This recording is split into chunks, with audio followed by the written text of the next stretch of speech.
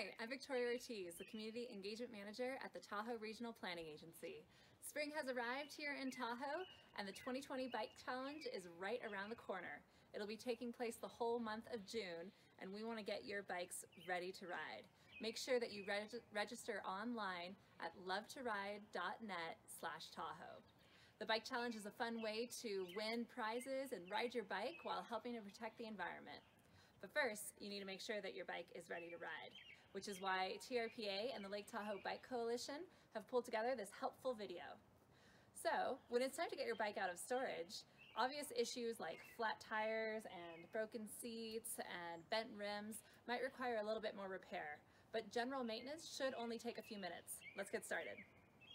So the first step is washing your bike. You could do it with it standing up like this, but sometimes it's hard because it'll fall over. So I like to just flip it upside down and balance it on the handlebars and the seat. Once you've got that set up, grab a bucket with some water and a rag and just go through and get all that grime and dirt off your bike. So once you've finished cleaning off your bike, then we're gonna move on to the ABCs of biking. A stands for air, or air pressure in your tires. So if you have an air pump. You can fill it up yourself, or if you don't, you can go to a local bike shop and many of them will let you borrow a bike pump for free to fill up your tires. So usually somewhere along the rim of the bike tire, there will be a little bit of writing and this will tell you exactly how much pressure should be in the bike. So in my case, I'm looking at the PSI, the 23 to 50. So I know that I want my bike tire between that range.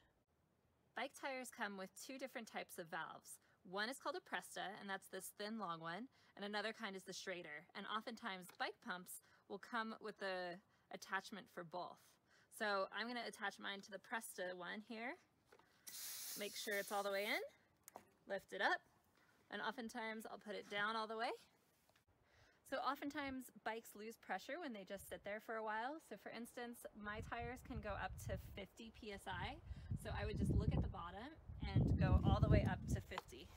Once I'm done, I just clip this down, take it off, tighten this little bit back on.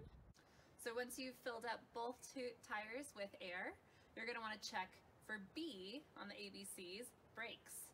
So your left brake controls the front and the right brake controls the back. So to check, I'm just gonna first move forward like this and make sure that I don't hear any rubbing. If you hear any rubbing on the tires or it's really hard to move forward, you might want to go check out a local bike shop and see if they can fix your calipers. However, if it is rolling back and forth smoothly, then I'm going to try just pressing the front brake and you'll notice that my back tire comes off. So my front one is working. Next, I'm to check my back tire. So I squeeze that one. Notice how it doesn't move in the back, but the front one does. That means it's working. You can check both of them too. Try to move forward. Great, the brakes are working. So that's B. So lastly, in the ABCs of biking is C for the chain. So you really want to just make sure that the chain is on and working smoothly. So the way to do that is lift up the back of your bike, pedal it a little bit, make sure it's running smoothly. Another good thing to do is what's called the drop test for your chain. So you just want to lift your bike up and drop it and make sure that the chain doesn't fall off. And later on in this video, Pete is gonna be going through how to shift and make sure that your chain is well lubed. Thanks Victoria for taking us through those ABCs. We're gonna send it over to Pete and he'll give us a little more detail on lubricating your chain, checking your gears, and adjusting your seat. Hi, I'm Pete and I'm here to help you get your bike ready for the cycling season. So one of the things we're going to look at today is how to properly lube your chain. Okay, so when you go to lube your chain, you don't need a fancy bike stand or anything. You can just find somewhere safe to lean it like this um, so that you can have free access to pedal it backwards. And then select a lube. I like a Teflon based lube. Um, Triflow is a great example. You can get that at pretty much any hardware store. Um, just make sure you're not using WD-40, which is a solvent, not a lube. And don't use like 3-in-1 oil or car oil or anything like that because that will collect a lot of dirt and, and then make your, your chain wear out quicker. Okay, so when we apply the lube, we're going to pedal backwards and we're going to saturate the chain.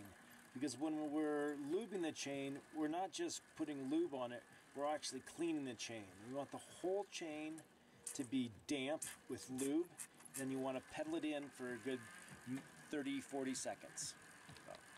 Okay, after your chain has been uh, thoroughly coated with lube, you've pedaled it backwards for a good 30 40 seconds. I like to use a sock as a cleaning rag because you can get a good grip around the chain. Pedal backwards, wipe off the excess lube, and as you wipe off the excess lube, you're also taking the dirt with it. And when you're done, you have a nice clean chain. Alright, so now we're going to talk about seat height. Uh, seat height's pretty crucial for um, being efficient and comfortable on your bike.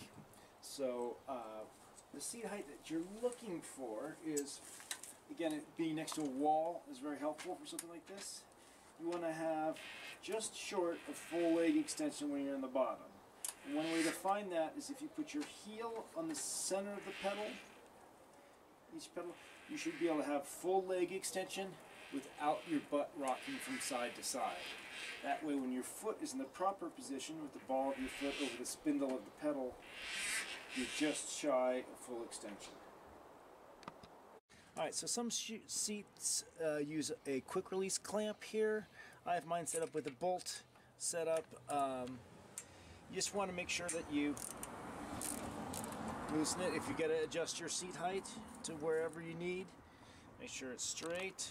When you find your proper position, you're going to want to make sure that it is tight enough to be snug. And if you what to check as you get it tighter, if you can move it a little bit like that, it's not quite tight enough. You want to you don't want to over tighten it because you'll snap the bolt. But, so you just kind of approach it slowly until it's tight enough that it doesn't move. Thanks, Pete and Victoria. Everybody should have their bikes ready to go now. I'm Gavin, I'm with the Bike Coalition. Talk a little about safety. Lights are the most important thing, really. Um, you can get a small flashing one for the back, either from us or from uh, internet, local bike shop. A nice bright front one is a good upgrade. Safety-wise, check out our website, tahoebike.org. We've got a bunch of safety tips in there. Some of the most important things being uh, riding with traffic, announcing yourself when you pass somebody, um, and just being kind while you're out there to every other kind of user. While you're on the Bike Coalition website, you can check out our map. We have an online version that finds the route for you. We also have a paper version that you can find at bike shops and visitor centers all around the lake. You've probably seen it. Uh, bike Coalition tries to support biking all over Tahoe in other ways. We install permanent bike racks, we do temporary bike parking for events, our bike valet, and things like the bike challenge to encourage people to, to get out there and bike. Um, we put on the bike challenge with TRPA, as Victoria said at the beginning. So on our website, tahoebike.org, you can click the bike challenge link and sign up and you'll be ready to ride in June. Happy biking, see you out there.